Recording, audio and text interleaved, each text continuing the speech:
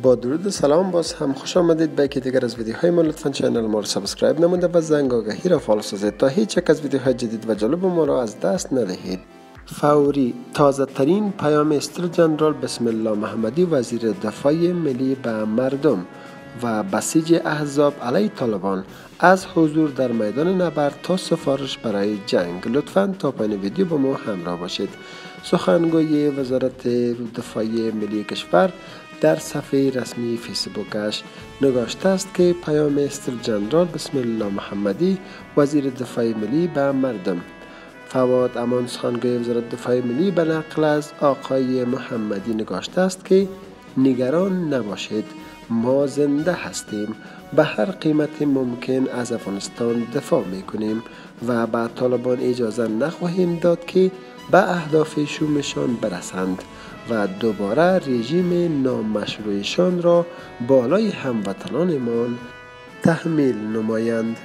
این در حالی است که روزنامه صبح کابل در یک گزارش تازهش نگاشته است که بسیج احزاب علیه طالبان از حضور در میدان نبرد تا سفارش برای جنگ. جنرال همایون فوزی نظامی پیشین کشور در صحبت با روزنامه صبح کابل می‌گوید که بسیج نیروهای مردمی در برابر گروه طالبان در میدان جنگ بسیار تأثیر گذار است. دفاع از جغرافیا از سرزمین و از خانه هایشان بر همه مردم فرض است و باید در برابر گروه طالبان بسیج شوند.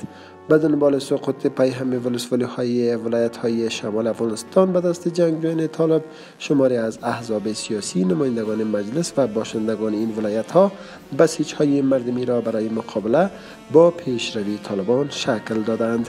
گروه طالبان در جریان هفته روان نزدیک به چهل ولسوالی را در ولایت های تخار بغلان سرپل بادغیس بلخ کندوز بدخشان سمنگان و جوزجان به کنترل خود درآورده است و تعقیب آن صدها تن از باشندگان این ولایت ها ففنگ هایشان را به شان انداخته و اعلام کردند که در برابر گروه طالبان مقابله می کنند اضافه بر این حزب جمعیت اسلامی شاخی تا محمد نور فراخوانی را برای شکل دهی بسیج ملی در برابر گروه طالبان اعلام کرده است.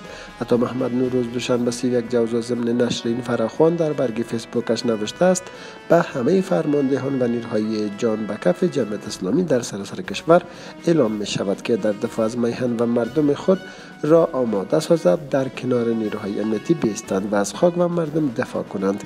آقای نور در کنار دعوت از فرماندهان حزب جمعیت از احزاب مطرح سیاسی نیز خواسته است که همگام با نیروهای امنیتی در برابر گروه طالبان متحد شوند.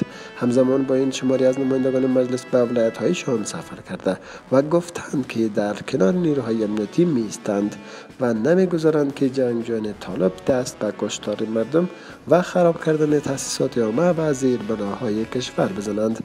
عباس ابراهیم زاده رهبر حزب وحدت نوین و نماینده مردم در مجلس نمایندگان در برگ فیسبوکش از رفتنش در میدان جنگ خبر داده است. آقای ابراهیم زاده نوشته است وارد شهر مزار شریف شدم تا آخرین مرمی و آخرین قطره خون می جنگیم. خیال سقوط شهر مزار شریف را به گور ببرد. شماری از رهبران دولت افغانستان نیز از مردم و جریان های سیاسی افغانستان خواستند که در کنار نیروهای امنیتی افغانستان بسیج شوند.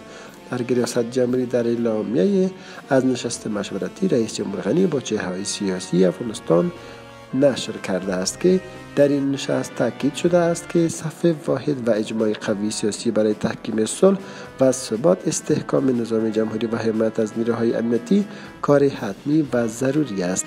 حزب جنبش و وحدت اسلامی مردم افغانستان از مدتها در برابر طالبان می جنگیدیم در صفحات شمال افغانستان که در روزهای پسین گواهی پیشروی طالبان بوده است سه حزب سیاسی جمعیت اسلامی جنبش ملی و حزب وحدت اسلامی مردم افغانستان نفوذ بیشتر در این مناطق دارد. همان گونه که در بالا گفته شد به سقوط پیهم ولسوالی ها حزب جمعیت اسلامی شاخیت محمد نور از جریان سیاسی و احزاب مطرح خواسته است که در کنار نیروهای امنیتی بسیج شوند و نگذارند که شمال در کام خواسته های گروه طالبان فرو رود.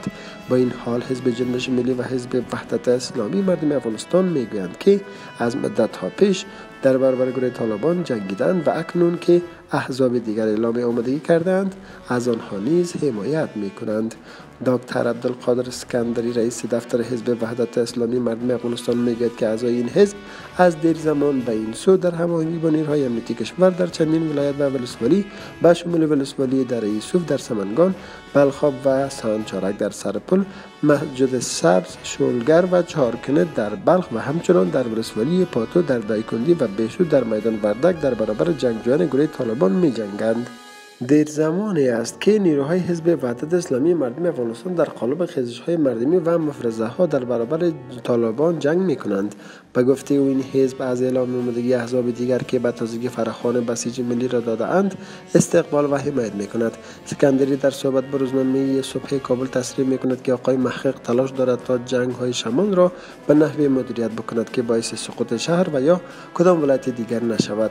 در روزهای آینده اتفاقات خوبی در شمال می افتد حزب جنبش ملی اسلامی افغانستان برابر مارشال عبدالرشید دوستم مدت ها می شود که در برابر گروه طالبان در شمال کشور مقاومت می کند آقای دوستم زمانی که معاون نخست رئیس جمهور غنی بود نیز در خط نخست نبرد برای دفاع از ولایت های تحت نفوذش مبارزه می کرد اما در روزهایی که ولسوالی های ولایت های شمال سقوط می کند آقای دوستم در ترکیه به سر می برد احسان نیروز خانگوی حزب جنبش در صحبت با روزنامه صبح کابل می‌گوید که آقای دوستون برای درمان بیماریش و دیدار با برخی از چهره ها به ترکیه رفته است. هر سه ماه بعد مارشال دوستون باید از نگاه صحی یک چک عمومی شود.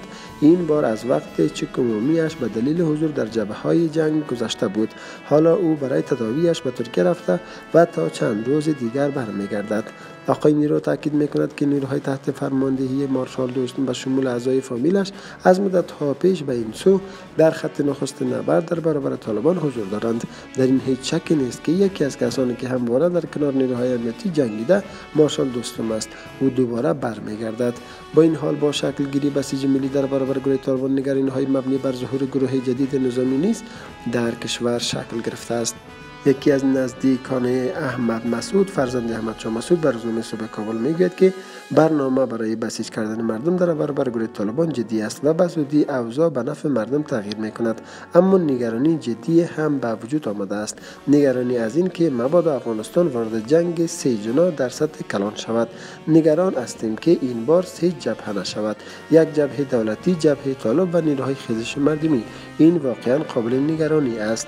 بسیج ملی در برابر گروه طالبان فرض است. شماری از آگاهان و کارشناسان سیاسی افغانستان میگن که بسیج مردمی در شرایط شکننده فعلی یگانه راهی کارساز برای مانع پیشروی گروه طالبان است. این کارشناسان تاکید می‌کنند که باید همه مردم در برابر گروه طالبان بسیج شوند و دولت نیز تسهیلات نظامی را برای آنها فراهم کند.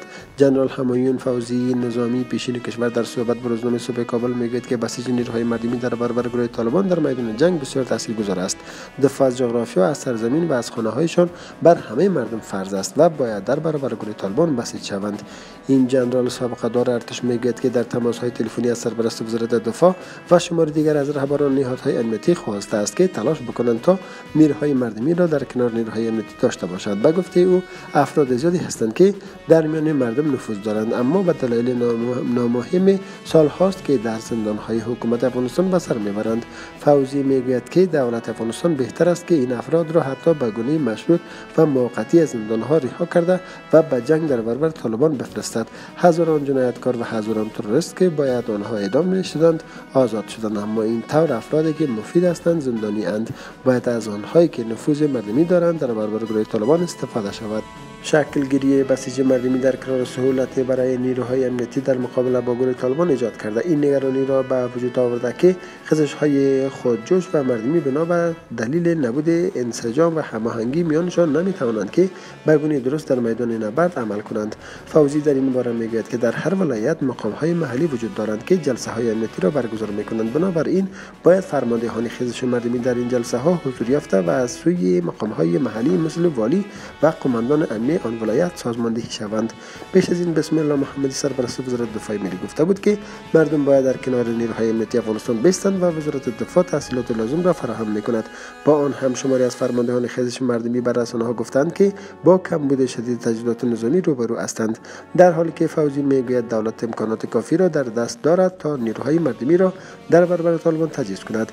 این همه در حالی است که همین اکنون در بیشتر از 20 ولایت کشور نبرد میان جنگجویان طالبان و نیروهای امنیتی دفاعی افغانستان جریان دارد. شماری از کاربران فضای مجازی با انتشار تصویرهایی از نیروهای امنیتی در برگه های فیسبوک تویتر و اینستاگرام حمایتشان را از نیروهای امنیتی افغانستان اعلام کردند.